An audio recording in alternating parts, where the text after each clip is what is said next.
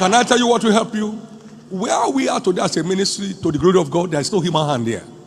There is no human hand. There is nobody to refer to and say, Thank God for that man if you are not here. There is not one man. So God's hand can take you to anywhere. God's hand can take your life to any height. God is more than enough to wherever you want to go. God is more than enough to take you to wherever He has promised to take you. So trust in Him, follow Him, and watch Him changing your story from level to level. The good news is your days of struggling for survival